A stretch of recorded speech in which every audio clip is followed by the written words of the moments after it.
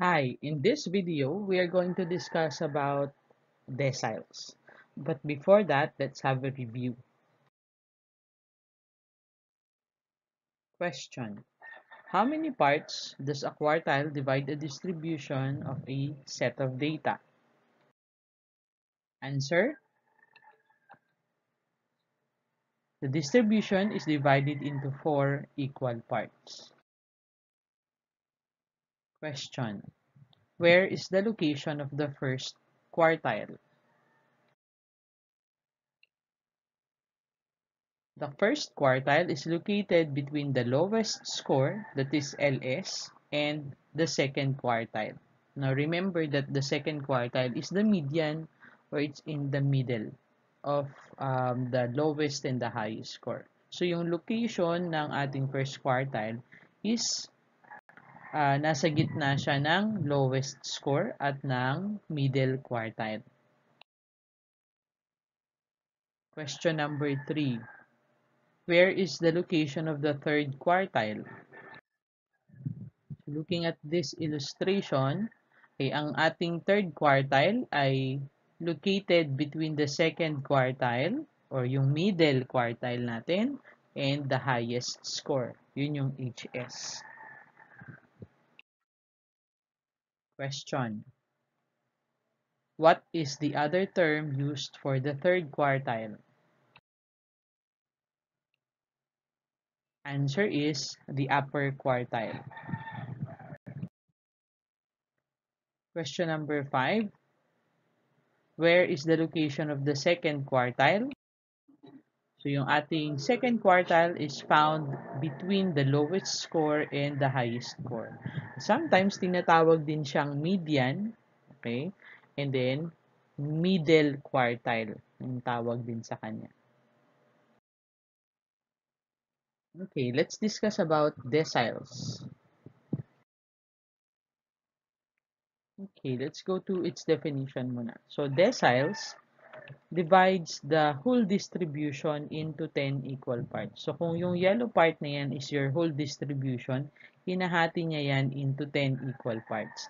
At yung makikita nyong line that separates yung distribution natin, yung mga gap, ito yun. Um, let me just show this to you. So itong mga gaps na yan, or yung mga lines na yan, nandyan yung location ng ating mga deciles. So there are 9 deciles. So this is D sub 1, or the first decile. 10% siya ng distribution. This is decile 2 or the second decile which is the 20%. Ito namang D sub 3 is 30% ng distribution. This is D sub 4, 40%. D sub 5, ito yung pinaka-center. So, similar din siya sa ating uh, median or yung middle quartile decile 5 is equal to 50% of the distribution. So decile 6, 6th decile. The 7th decile is 70%. Decile 8 or the 8th decile is the uh, it's uh, it's 80% ng distribution natin and then decile 9 is the uh, 90% ng distribution. How do you solve for the deciles of ungrouped data. Now, remember, ungroup pa lang yung dinidiscuss natin today. And when you say at ungroup, hindi tayo gumagamit ng uh, frequency distribution table. Meron lang tayong list ng numbers. So, how do we solve for the deciles? Okay, step 1, arrange the scores from lowest to highest. Step 2, find the location or position of the quartile. So, hindi siya naiiba dun sa previous discussion natin ng quartiles of ungrouped data. So, dito, paghahanapin mo yung location ng um, ating decile, you need to memorize yung formula. D sub k is equal to k times n plus 1 over 10. At yung k, papalitan mo yan kung anong decile yung hinahanap mo. So, if you're looking for decile 3, So, yung formula mo ay d sub 3 is equal to 3 times n plus 1 divided by 10. O kaya kung hinahanap mo yung position or kung nasaan ba si decile 6 or d sub 6. So d sub 6 is equal to 6 times n plus 1 over 10.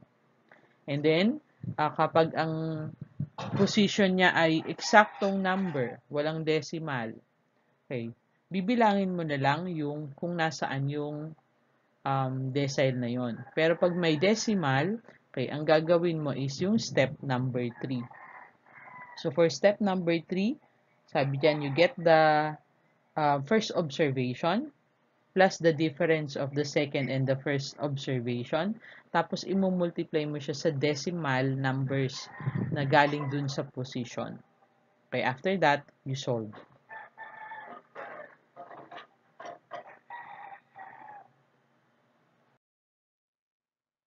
Let's have this example. So, let's look for the third decile. So, yung numbers natin is already arranged in ascending order. Hanapin na natin yung position ng third decile. So, if we're looking for d sub 3, so ang formula natin ay d sub 3 is equal to 3 times n plus 1 over 10. So, yung n natin is 9 kasi from 13 hanggang 30, 9, 9 lahat yung numbers na yan. So, magiging 9 plus 1, dito tayo, 9 plus 1 is equal to 10. 10 times 3 is 30. 30 divided by 10 is equal to 3. So, ang position ng ating third decile is nasa third number lang siya. So, walang whole number dito, so hindi ka na mag-i-interpolate. So, yung third number na yung diretsong sagot, and that is 21. So, The third decile is 21. Let's go to the sixth decile. So then the numbers again are arranged in ascending order. So since we're going to look for the sixth decile, so ang formula sa paghanap ng position is d sub 6 is equal to 6 times n plus 1 over 10. Okay, so 9 pa rin yung numbers natin. That's your n, n plus 1. So 9 plus 1 is equal to 10. 10 times 6 is 60. 60 divided by 10 is 6. So yung nasa 6th position, yun ang ating decile. So bilangin mo from 13, yung pang-anim, that is your 6th decile. That's 26. So yung 6th decile is 26. This time, let's solve for the seventh decile. Again, the numbers should be arranged in ascending order. Hanapin natin yung position ng seventh decile. So that will be d sub 7 is equal to 7 times n plus 1 over 10. Okay, by the way, since decile tayo ha, ang denominator na natin ay 10, 10, 10 dyan. Okay? So, n plus 1, magiging 9 plus 1 yun because there are 9 numbers dun sa ating list. So, 9 plus 1 is 10. 10 times 7, 70 divided by 10, 7. So, 7th number daw yung ating decile, yung ating 7th decile. So, pag binilang mo, pang 7 ay si 28. So, our 7th decile is 28. So, yung mga nauna nating examples, yung position na tinutukoy natin dito, like the 7th, eksakto. Pero pag yan ay nagkaroon ng decimal number, kailangan mo nang mag-interpolate. Just like in the next example. Okay, in this example, um, we are asked to look for the second decile. So, to look for the position muna of the second decile, okay, we are going to use d sub 2 is equal to 2 times n plus 1 over 10. And then you get yung n, ilan bang numbers from 10 to 30? That's 11. So, for solve na natin yung nasa loob ng parentheses. So, 11 plus 1, that's going to be 12. 12 times 2 divided by 10 is equal to 2.4. So, notice na yung ating um, position dito ay 2.4. So, ibig sabihin, kung 2.4 yan, nasa gitna ng second at saka ng third na number. So, second and third number ay 11 and 13. So, mag interpolate na tayo dito. So, kung natatandaan, okay, you have second observation, that's 11. at yung third observation natin ay si 13. So, second observation is 11 plus uh, third observation is 13 minus 11 times natin sa 0.4. So, saan ang galing yung decimal number dito na 0.4? Dito sa position natin. Dito siya manggagaling. So, let's use the formula. Solve natin yung 13 minus 11 muna. That will give us 2. And then, multiply 2 and 0.4. That will give us 0.8. Plus 11 is 11.8. So, meaning, yung ating second decile is equal to 11.8. Okay, let's solve for the 8th decile in this example. And remember, all the numbers should be arranged from lowest to highest. So, we have 10 up to 30. Now, hanapin natin yung position muna ng 8th decile. So, we're looking for d sub 8. That's going to be equal to 8 times n plus 1 over 10. So, yung n natin, 11, kasi from 10 to 30, 11 numbers yan. So, 11 plus 1 is 12. 12 times 8 is 96. 96 divided by 10 is equal to 9.6. So, ang posisyon ng 8 decile natin, makikita natin sa 9.6 daw. So, nasa gitna siya ng 9 at saka 10th na number. So, nasa gitna ni 29 at ni 29. So, mag-interpolate na tayo. So, ninth observation natin is si 29 plus yung 10th observation natin si 29 pa rin minus 9th observation 29 pa rin times 0.6. So, kung susundan na natin yung, isa-substitute na natin yung value, so magiging 29 plus 29 minus 29 times 0.6. Solve nyo nasa loob ng parenthesis, 29 minus 29 is 0. 0 times 0.6 is 0 pa rin. Plus 29. So, ang sagot, ang value ng ating 8 decile is 29.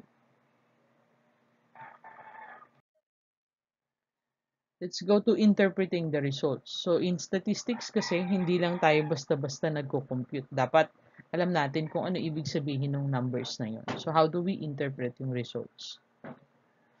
d sub 3 is equal to 17 means that 30% of all the data has a value that is less than or equal to 17. So kung yan ay mga scores, ibig sabihin 30% daw ng mga batang nag-take ng test ay may score na 17 at pababa. d sub 2 is equal to 11.8 means that 20% of all the data has a value that is less than or equal to 11.8. And for the last example, d sub 7 is equal to 28 means that 70% of all the data has a value that is less than or equal to 28. So again, if this is a test score, okay, sabi dyan, ibig sabihin, 70% daw ng lahat ng nag-take ng scores sorry, ng test na yon ay may score na 28 at pababa.